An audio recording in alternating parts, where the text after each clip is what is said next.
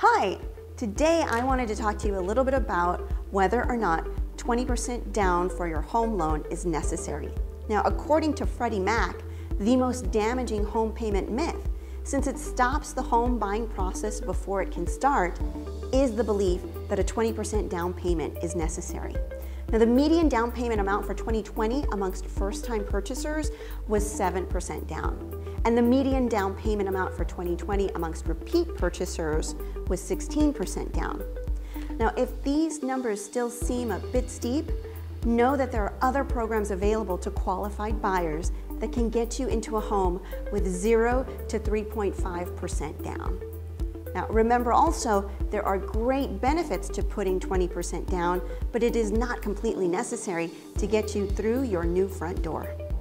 Now, my advice is simply start the conversation with trusted professionals. If you have home ownership goals for yourself, I know many amazing lenders that I can put you in touch with who are here to serve and educate. If after chatting you decide you're still not ready, at least you know now where you stand and how to work towards your goals. Message me if you need direction on where to start. I'm Genevieve Jones, your local trusted real estate advisor.